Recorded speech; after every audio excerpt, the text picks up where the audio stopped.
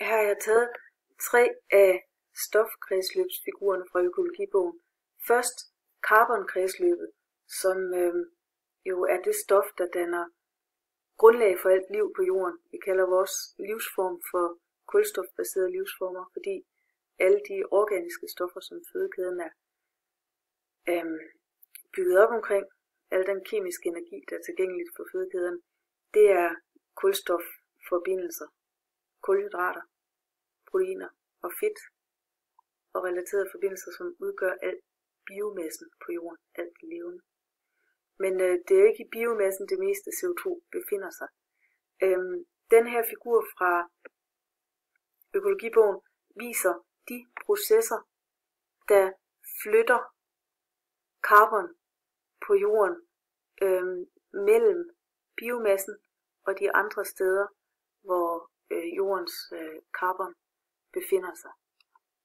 Øhm, I forhold til vores didaktiske emne om modeller, er den her øh, figur lidt interessant og også lidt god, fordi den øh, ikke begår den fejl, som mange kredsløbsmodeller øh, begår, nemlig at vise sådan helt bogstaveligt et kredsløb, hvor stoffer flytter sig fra en form til en anden, til en tredje, til en fjerde. Hvis man har sådan en kredsløbsmodel, der viser stofcirkulationen som ja, en cirkel eller et kredsløb, så kan det faktisk tit forstærke en hverdagsforestilling hos eleverne, hvor de kommer til at se processen som sådan en trinvis proces. Først sker den ene proces, og så sker den næste, indtil vi har sådan en sluttet cirkel. Det er lidt ligesom den, jeg nævnte i klassen med øh, en hverdagsforestilling, der stammer fra sådan en model af planeterne i solsystemet, hvor de er stillet op på linje, hvor man kan se størrelsesforholdet. Det giver ofte hos elever et billede af, at de her planeter befinder sig på linje ude i rummet. På samme måde, når man afbilder et stofkredsløb som en, en lukket kreds, så øh, kan man forstærke en hverdagsforestilling baseret på den model, eleverne har mødt. Øhm, altså en forveksling mellem model og virkelighed, kan man sige. Den her figur kan være meget forvirrende. Der er rigtig mange pile, men den viser i hvert fald, at processer som fotosyntese og respiration er noget, der sker flere steder. Her har vi alger, og vi har landplanter, som respirerer og laver fotosyntese. Begge steder. På samme måde har vi et kulstoftab, karbontab fra organisk til uorganisk stof gennem respiration, både i vandet og på land. Øhm, det man kan sige med den her figur, det er, at den ikke rigtig viser, hvor de store depoter af carbon befinder sig. Og det er fordi, den har fokus på processerne, især de processer, der gør carbon tilgængelig for biomassen, og de processer, der afgør, hvor meget carbon vi finder i vores atmosfære. Og det med atmosfæren er selvfølgelig særligt interessant, fordi øhm, carbonindholdet i atmosfæren er en af de vigtigste faktorer i den menneske Øh, skabte globale opvarmning, vi oplever i øjeblikket, hvor øh, CO2 jo altså også fungerer som en klimagas, fordi øh, CO2 holder på varmen, så det ikke slipper så meget af det energi, der kommer fra solens indstråling, ud igen som udstråling. CO2 holder på varmen fra solen og giver global opvarmning på den måde. Derfor kan sådan en figur her være interessant, fordi hvis man ser på alle de pile, der peger opad, så får man alle de processer, der bidrager til at øge CO2-indholdet i atmosfæren.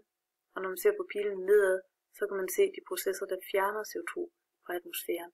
Og her kan man jo så øhm, se på, hvilke processer, der er kommet til, siden industrialiseringen begyndte, øhm, og dermed, hvordan balancen er blevet forskubbet.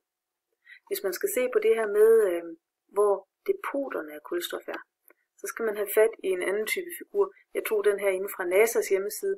Den er så på engelsk, men de har nogle meget flotte figurer i hvert fald. Den kan på sin vis være også en forvirrende figur. Den har ikke lige så mange processer med, som figuren i Nucleus. Den har også den her med diffusion af øhm, carbongas til og fra havet. Den har også fotosyntese og respiration både i vandet og på land. Øhm, men den har så også nogle tal på her, som viser depoterne. Det den viser her, det er de depoter, som carbon cirkulerer med, når det kommer ind og ud af fødekæden. Den har faktisk ikke det største depot med, fordi det allermeste kulstof på jorden er utilgængeligt for fødekæden, og ligger sådan mere eller mindre permanent i de klippearter, der indeholder carbon, som f.eks. grafit og, og diamanter, dem er der ikke så mange af, men der er rigtig mange klippearter, som øh, indeholder øh, carbon. Øh, kalksten gør også, det er på formen øh, CaCO3 og har altså et carbon øh, atom i hvert molekyle. Øhm, men her kan vi se, at hvis vi ser på øh, de lager af kulstof, der er tilgængelige for biomassen, så øh, er det allerstørste, det er faktisk nede i dybhavet. Og den er interessant, for når først carbon er røget herned, der går ikke nogen pil tilbage, kan I nok se. Hvis først dødt organisk materiale er deponeret i dybhavssedimenter, så kommer de kun i ringe grad tilbage i kredsløb. Så her får vi formet et ret permanent reservoir.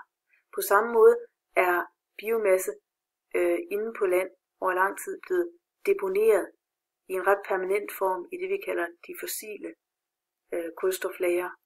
Og det er også det, vi kalder de fossile brændstoffer. Og så kan vi jo nok historien om, hvordan de så pludselig kan blive tilgængelige igen ved at komme op i atmosfæren.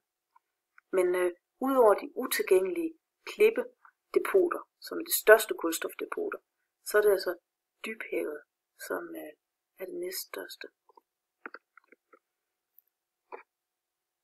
Den næste figur fra Nukleus her viser nitrogenkredsløbet. Og øh, her har vi en anden situation, fordi vores planet atmosfæres øh, største bestanddel, det er frit kvælstof. Så det meste af vores atmosfære er faktisk frit kvælstof.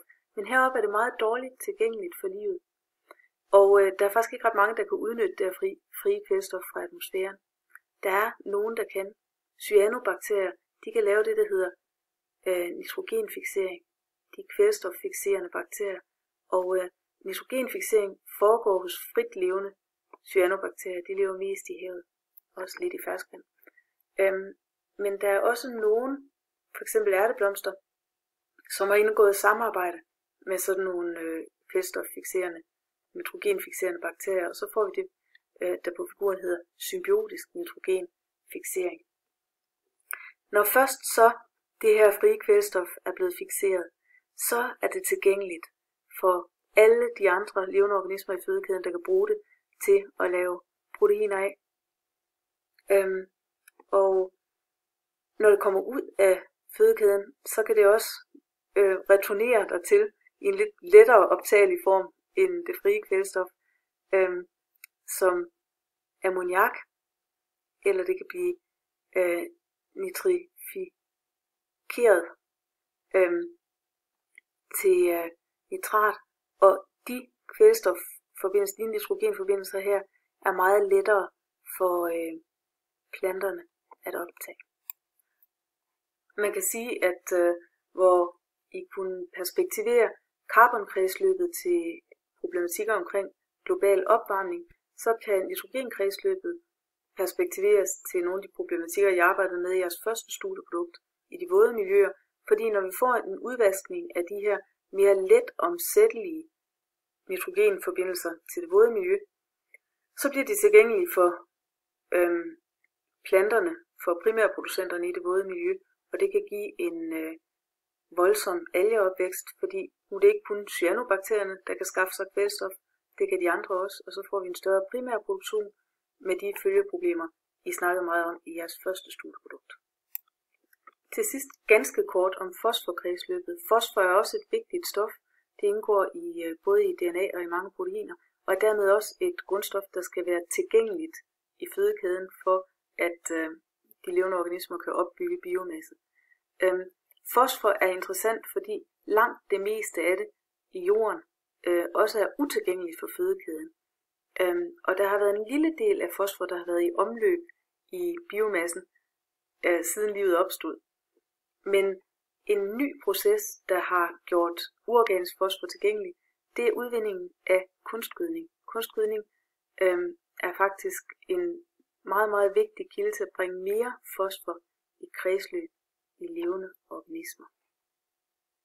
Så det var ganske kort om stofkredsløbene for de tre grundstoffer, der er vigtigst i fødekæden.